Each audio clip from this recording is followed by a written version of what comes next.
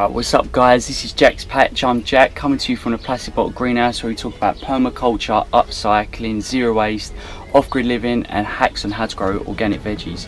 Right, so if you've been watching, welcome back. Um, just we're hitting it's the 8th of July and it is absolutely boiling. Probably the best and most consistent summer I've ever seen in my lifetime.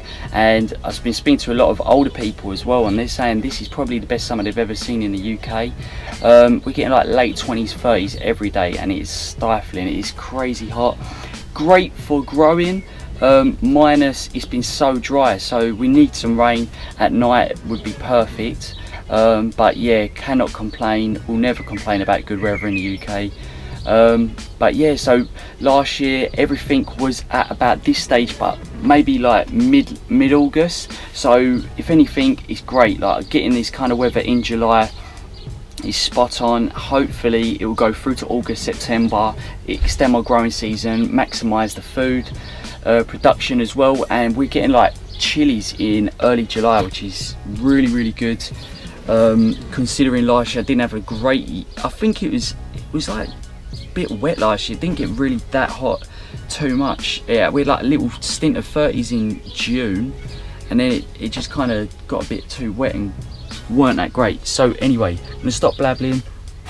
Blabbing? Blah, blah, blah. anyway so if you've been checking out my Instagram uh, got a new logo for Jack's Patch. Got some zero waste goodies coming as well so um, that's what I'm all about. As I said about zero waste before and as we're in the plastic bottle greenhouse which is a great example of what I'm about and how we can reduce and recycle stuff that's around us. Um, I've got some um, reusable coffee cups water bottles etc um, etc other stuff I need to look into getting as well for zero waste but gonna whack a logo on it. Um, put them up for sale do a website put them on there uh, put them on Instagram for sale and all the profits from that will go be pumped into my dream of getting a local uh, farm um, and maybe expand that zero waste side of things as well. But it'd be great uh, if you guys can purchase like anything zero waste if it's from me or anywhere else it's just reducing um, single use stuff that we like. You drink a bottle of water and that bottle goes straight into uh, landfill or if it does get recycled it only gets recycled so many times until it, that sort of plastic gets recycled. Uh, it doesn't go turn into anything decent. It doesn't decompose. It is just still on this planet for years way past we're going to be living. So yeah have a little be conscious when you buy stuff. But if you've got reusable coffee cups and water bowls then perfect you can reuse it um, and yeah just be conscious about your actions guys because they it, I think in the Western world we we just do things and think you are not harming anything else, but you just got to think beyond that. All right. So enough about that. More about the update on the growing. We're having a blazing summer, as I've said. Everything's doing really well. So this is the chocolate pepper. I'm going to get up it from this pot. As you can see, the roots at the bottom and like up to these pots and they're thriving. So great example of that is my melons were kept in cells like this for months and months and didn't really grow. It was my fault needed to put them in pots but these guys have wanted to thrive and now they've gone from something like this size uh, where they were like dying and weren't really getting any nutrients out the soil anymore to these in about a week they've like tripled in size. So really excited about what I can get from them uh, so we've got the chocolate peppers, we've got planting more coriander, more nasturtiums, um, got some oregano, they grow really tiny. So yeah, I've got another pot of them, wicked on pizza. Uh, can't wait for that. So putting more mint in in the jars and as you can see, oh, can you see that? There's some roots coming through there.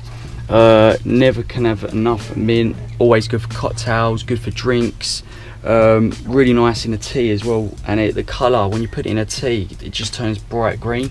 Um, and anything vibrant as well is really good for you so we've got more lettuce got some extra tomatoes in here another bit of lettuce in the cells um, with long red chili peppers. And I've just seen this guy He's absolutely smashing it. So we're gonna have a lot of them by the looks of it. Can't wait for them. Uh, we've got some uh, beetroot here. When I thin them out so you only really want one per cell because when you plant it out you want it to swell um, to a beetroot size you don't want it long and thin. Um, but with the um, bits that you're going to thin out really great in salads as a microgreen um, really like really decorative to um, a plate as well. Um, we've got more basil. Again can never have enough basil. It's great uh, to deter pests so I've planted it in between my tomatoes. Um, and that deters black fly which has actually taken all my um, nasturtiums look completely just wiped them out. So I'm going to plant something else in then uh, shortly um, today uh, there's my oregano and um, yeah so that's a bit of a shame but always learning. So I've planted them by the tomatoes because aphids like a big pest for tomatoes so in it planting them with tomatoes. Um, so that what the basil does the smell of the basil actually deters the black fly away from your tomatoes. And I find it quite funny that they work together the basil and the tomato and then in food you have basil and tomato quite a lot together in Italian food which I find quite funny. So they actually like seems that plants that companions with each other in the soil actually are companions with each other on a plate which is really interesting as well. Geeked out about that. Um, yeah lettuce is absolutely it's looking gorgeous. I love the look of this. Uh, we're doing really well. It's doing well. It's doing it's in the shade so it's going to have a sweet flavor grown in the full sun it'll have a spicy flavor so that's another little nugget of information i love as well um, this whole bed is going to get I'm going to clear all this. It's had raspberries the last two years, done really well. But as you can see, there's a lot of non-production in the middle areas. Um, so, gonna replenish this today, and in what it is is that I don't have much room so I need to maximize my growth and this this is not doing it. So I'm going to clear all this and just have loads of rows of like radish carrot you can't have enough. Um, and I really haven't planted any of my yellow carrots. So really want to get them in and yeah harvested. And I've got, got I've harvested some white carrots so I'm going to get to show you that in a minute. So potatoes they're ready to come up. Um, and we'll do that in the next video I guess uh, we've got yellow mangetout. So these look awesome. Can't wait to have these probably another few more days before I have any of them yet. Um, we've got some gonna harvest some yellow courgettes today. They've come through really nice. Um, you want to pick them while they're small uh, because you want to get the best flavour out of them. When they get too big too much water retention bit watery in the flavour as well. Um, anything picked like young tends to have the best flavour best texture. Um, so yeah uh, here's loads of cucumbers cucumbers again and check this out right? So purple sweet corn and I've planted loads. It's like from like an American movie where you just tuck in like a big like little mini cornfield. I want to can't wait to harvest all this. It looks and tastes delicious. Um, so these are the seeds. So in the wind this shakes and the seeds go into into these bits where the cobs are going to grow and that will pollinate the cob and then they'll come through. Um, so you planted them together. So this could shake and this could like drop over into the next plant. Just maximizes pollination. But man look at the size of this one. Uh, pretty much as tall as me so yeah well happy with this. It's been massive success this year. Right so uh, we have what do we have in here? Yellow monster peppers. They are absolutely booming in this little mini greenhouse here. Um, yeah really really happy with with all the peppers and chilies this year just down to the weather. I mean like next year bring on the mangoes bring on the pineapples. Be like palm trees you've got like palm tree seeds. Um, yeah just kind of whack it all in. No, it'd be sick though if we had mangoes and and whatnot. That'd just be another level. It'd be tropical England. I mean probably could have got away with it this year just down to the heat. It's been unreal. But yeah so we've got grapes here guys. They're coming through. Bunch of grapes but really like those grapes have got seeds in so probably best to make like uh, like wine or a jam out of them uh, so yeah excited to do that so we've got the tomatoes now guys they're coming through Um, as I show, said, got the basil in between, got more nasturtium, so the edible flowers. They work really well in between tomatoes. Uh, they attract the bees over as well, which you need to pollinate these guys to turn into the tomatoes. But yeah, look, loads of bunches. Um, make sure you always pick these little guys out. These suckers take all the energy, so the ones in between the leaf and the stem make sure you always pick them out. And I always cut the lower lower foliage off as well. Um, that just prevents disease. So all the uh, spores is called blight. Once that hits your tomatoes your tomatoes get rotten. So what you want to do is is prevent humidity. So all the leaves if they're like a bit like this a bit if there's too much foliage um, I think it's going to create a lot of humidity in it especially in this heat. So you've got to trim it all back um, trim it up to probably up to the first trellis of tomatoes. So I need to get rid of these two. And then it just um, it just gives it a chance half a chance. All right. Look at that one. Lovely. Right now we're going to go to my second bit of the plot. So we've got okra I mean these guys are doing well. These look like they have a bit of a potassium deficiency so I've got to got to figure out how to fix that organically. Uh, I need to get like uh, probably need some more nettle tea some more of the worm juice as well. Um, get whack a load of that on and it should sort itself out. So I need to clear these two beds today um, harvest the beetroot. We're harvesting beetroot now. I mean look got loads of it which is wicked. I love a bit of beetroot, and it, the more raw it is, the better as well. So anything like that is just littered with antioxidants. Uh, really good for your blood, oxygenates your blood, so it's really, really healthy for you. Um, and as I said in my last video, guys, about um, cucumbers growing up the trellis, um, uh, cucumbers growing up the sunflowers. Um, so far, a success. Um, they're both growing well and as you can see look be really really easy to harvest. So there's a little cucumber there.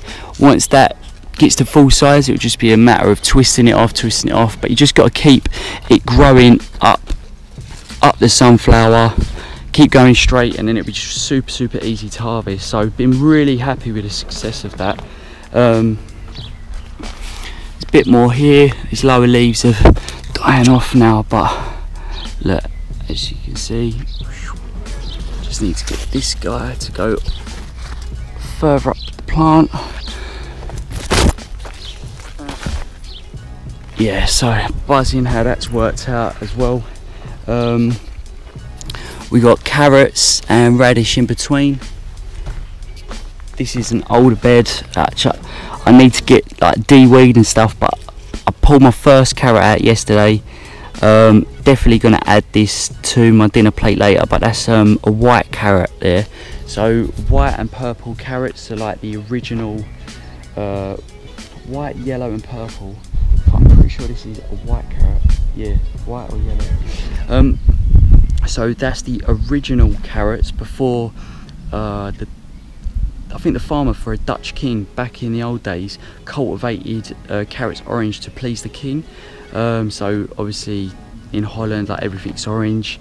All the, the football jerseys like um, when they celebrate their national days etc to please king he cultivated orange and then that stuck and then that's all you see in the supermarket now. So probably because they're an original carrot they're not a hybrid carrot you're going to get probably more nutrition out of it and you don't want anything that's genetically modified um, I guess orange carrots are probably natural to a degree, but some of the stuff that you can buy from like garden centers and that is have like a F1 hybrid type, and that is been cultivated in a way that is not natural. So watch out for that, and it's probably best to grow white carrots. It also looks better on a plate. You surprise people as well. Bit of biodiversity um, so yeah definitely add it to um, your growing list for sure. Been pretty easy as well. As long as you give it enough soil with no stones bit of sand in the soil it will grow perfectly straight deep down.